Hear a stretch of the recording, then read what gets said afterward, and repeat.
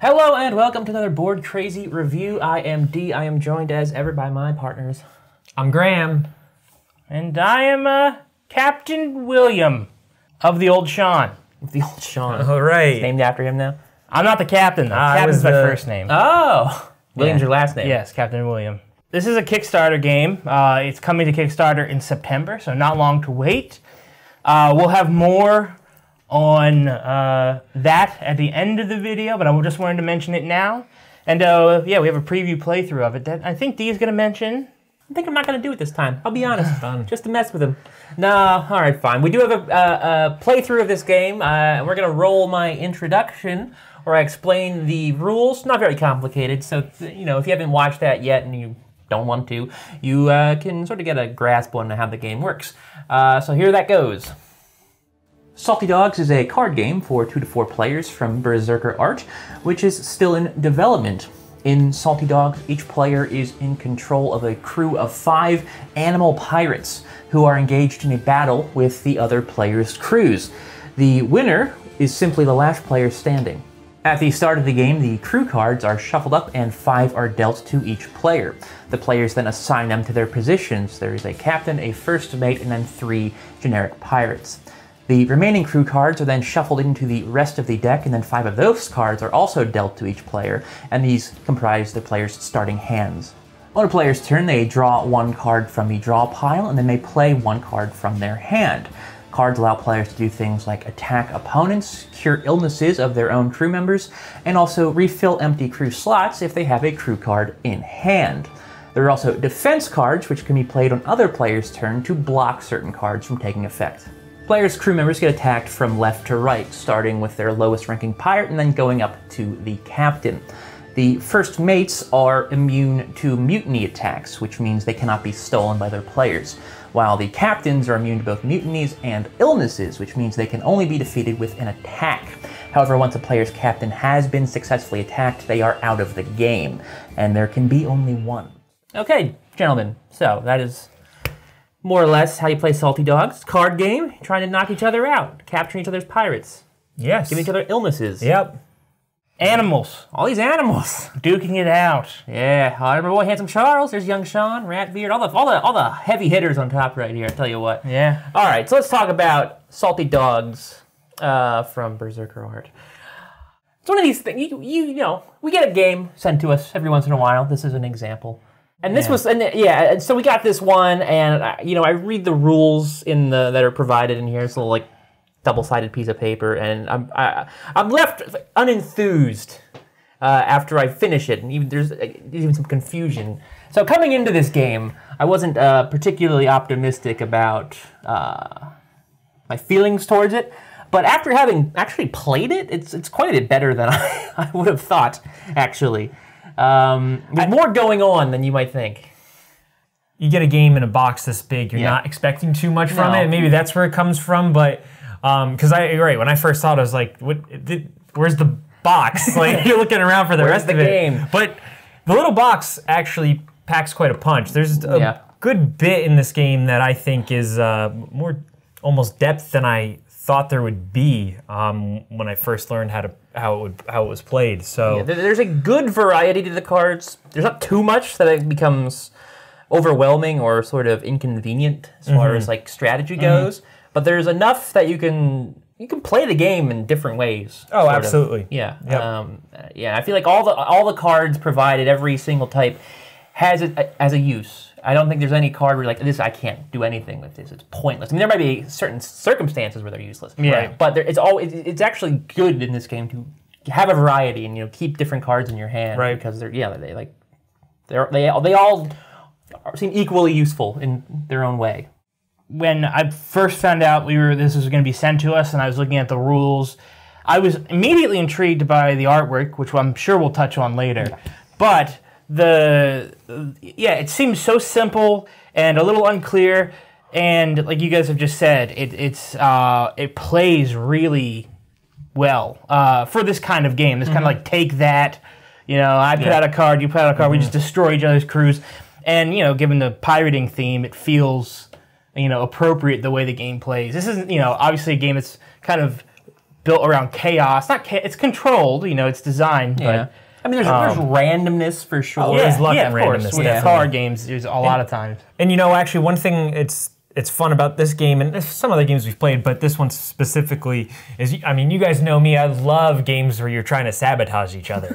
no sarcasm there at all. But this game is essentially built around sabotaging, so you don't actually feel bad when it happens to you or Yeah. when you're doing it to someone. Yeah. It's just kind of expected. Yeah. And so I think that gives you a little bit of relief, I would say, or a little bit of You don't feel permission, yeah, Yeah, to, yeah. to do it, and so it's it um it feels good to do it every once in a while, and they they I think wrapped it up with a with a really nice theme to do that, and so it's um Yeah. I, I that was also, Also, another it's not thing that stood out. yeah, it's not necessarily beneficial to gang up on someone in this. Game. No, it's not. Yep. You might knock them out, but you might leave yourself vulnerable in the same Exactly. in the same time. I was shocked at how well that worked. Because Yeah. like I, I, one thing I've always Oh, feared about about card games in general, or games like this where you're, you're the it's it's like nonstop action where you're attacking people, is that I was afraid that especially with three players, one player might get ganged up on, Mm-hmm. or there would be you know like uh, someone would start to feel like a grudge because they keep on getting hit. And then I, what I re- what I realized is that one, you, the grudge thing doesn't really happen. It might happen with certain personality types, but at least with us, uh, it didn't happen because, like Graham said, it's you sort of have permission to just attack, attack, attack, and kill. Uh, well, capture your opponent's pirates and make them ill and all this other thing, on all these other things. But um, but also like then kind of what you hinted at, there is an incentive to not do that based on what cards you have in your hand and how you just because if you once the more you play this game, the more you know that if you start to gang up too much on one person, you're right. It could it will very likely leave you more vulnerable than you even expected, and that is a you know a good part of the game's design.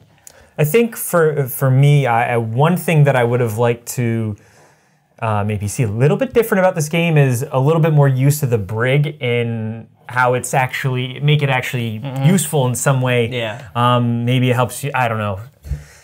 This feels like a good time to jump in and mention. Oh look, guys, we're in new clothes by the way. it's weird that we changed. Yeah. Indeed, mid review.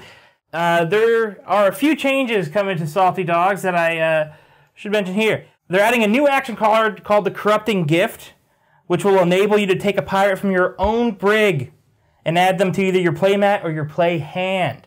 So that's kind of what we were just talking about. Well, that's being added to the game. Thought you should know. A few more little changes that they're uh, they're doing. The color of the pirate card's border is being changed from that like same brown wood design to like a greenish color to make them a little bit more distinguishable from the action cards. That's A good change. Good change. Um, and for ad- more advanced play, they're adding in immunities to four of the pirates. For instance, uh, Piggy Peg Leg is going to be immune to scurvy since he's the one who makes the Piggy Peg Leg orange gumbo. Oh, that's clever. and Dr. Burry Bones will be immune to the black spot because he practices voodoo. Very cool. So there's going to be some interesting little caveats. Also, they are holding a on the Salty Dogs website. They're holding a coloring competition to determine the final art for the Captain Salty pirate card. for children. It's for children ages 6 to 12. We'll have the link for it down below in the description. And that's it. So back to the review. Yeah, take that, five year olds. And I, what I was going to say too, another thing I really like is so like the main way you destroy opponents' crew members, i- um, you know, are the attack cards. You walk the plank, you fire cannon at them, stuff like that.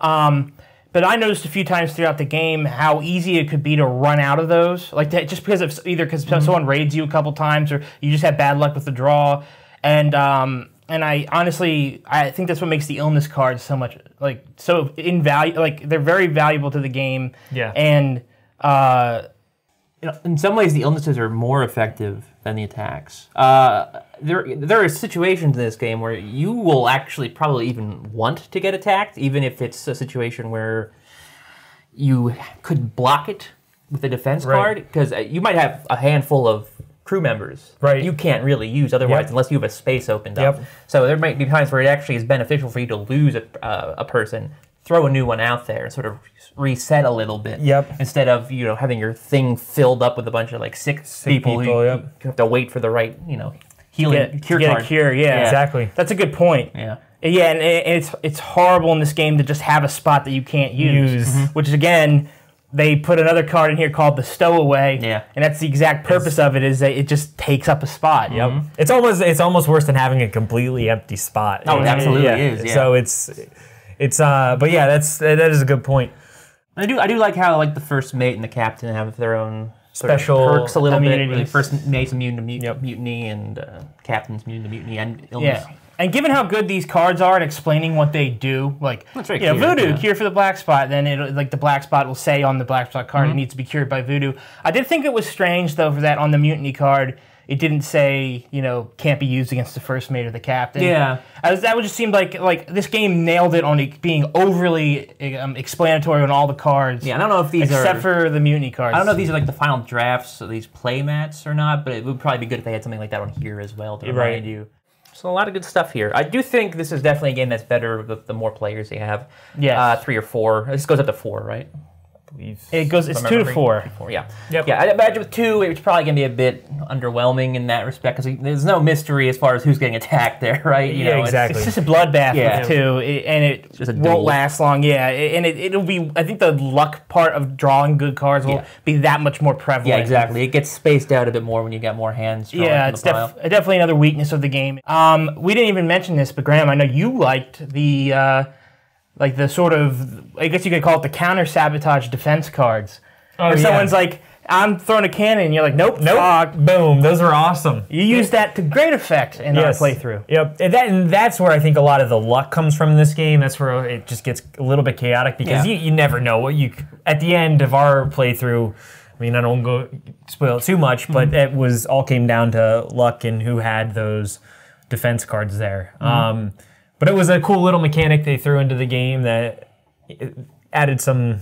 Yeah, and you know, using those, Suspense. you are you are lowering your hand size. Right. You Yeah. know, you're you're not getting that back. Yep. Exactly. So, okay, well, let's talk about the art then. Um, it's you know, I, I don't think it's gonna be to everyone's taste. It's got I feel like a very like '80s, '90s kind of style to it. I was gonna say I almost have an immediate nostalgia yeah, for the art. very nostalgic for us. I maybe Oh. younger players may not appreciate it as much. Yeah, I almost it almost looks like the art that you'd see on the box of an Animal Crackers. Interesting. I don't know. That's what for, a really intense animal. yeah, really. Yeah. Like if it was like The, I don't. I think the way the Halloween-themed giraffe animal- is and the, Yeah. the monkey and I don't know. That's what came to mind immediately. But it is weird how I almost have an immediate nostalgia for this for the artwork. Yes, Simon Bisley did the artwork for this game. He is a really well-known um, like comic book artist, and it shows. This game has. We've played a lot of card games with really good artwork, but I don't know if we've ever played um, card games with artwork that's this like unique and colorful. Right. Yeah, and like you said, I, I almost like that. There's a lot going on in the in Yeah. the cards. I didn't when we were playing. I didn't really take a chance to look too much at what was going on in the pictures, but uh, it, it I think that adds a The characters are a nice lot little fun. taste to it. You know, yeah, they're oh, the characters main are great. focus. Yeah, yeah, the characters yeah, are, a are lot of great. personality. I, and that's good because that personality on both the character cards and on the action cards sort of allow you to you could like through banter almost build a story as Yeah, you're playing. If you really wanted to role play it. um, anything else? I, I like the I like the mats that they're. Yeah, I hope, well- I hope this is the the uh, the final copy of what they're gonna they're gonna do these cloth mats here. That's I don't know. They're I, they're not the most convenient things, but they wrap up nicely into the box, and I think they're really cool. I, I think in general what we got is the final product. Yeah. But um Well, I have seen stuff online with them having like a bigger box, probably to Yeah, hold yeah, this they- and stuff like this. but okay. they mentioned to us that the final product will be like a two piece box. Yeah. One box will have the cards, the other box will have the play mats. Okay. yeah, So, yeah, so it's a little different, but again, mostly with the few, there will be some additional cards. The rules will be uh, more thorough and complete. that is necessary. Um, Yeah. So, like you know, what we got is like mostly the same, but it's, the finished product will be even better. Guess we should wrap it up, guys. Yeah, I don't have much else to say. No, yeah, no. I, I mean, like I guess we kind of covered everything. It's, this is a surprisingly fun game. Um, it, also, it's it's uh, this is kind of uh, it's a th- it's a situation where this game is it's actually fun and interesting to play without it being at all complicated. Really, like mm-hmm. there's not much to have to learn. Like I kind of.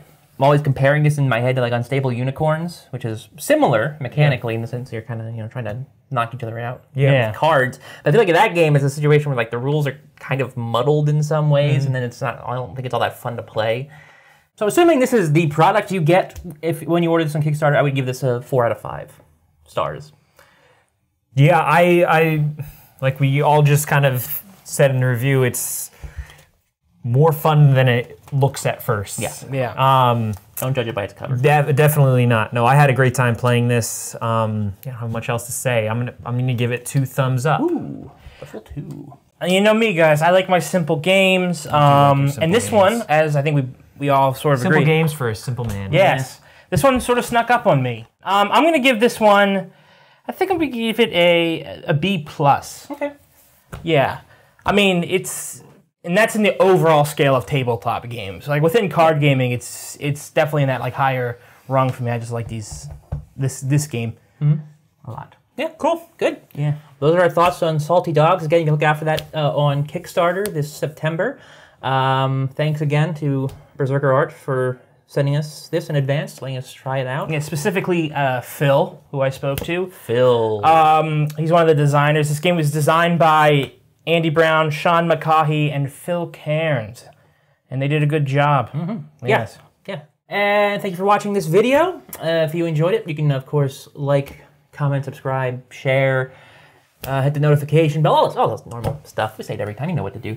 Uh, and you can also check out our social media, as always Facebook, Twitter, and Instagram. Graham has been on Instagram about 26 hours a day recently. So you want to. 27. Yeah, 27. There you go. 24. So if you want to talk to Graham, it's not really an Instagram thing, but uh, yeah. And then of course you can come back uh, this Friday for our next uh, board crazy playthrough. We're going from cats to dogs to birds.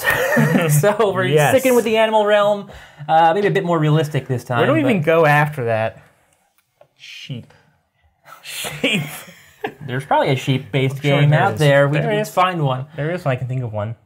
Agricola? Oh, it could, sheep, I think. right. Part of agriculture, probably.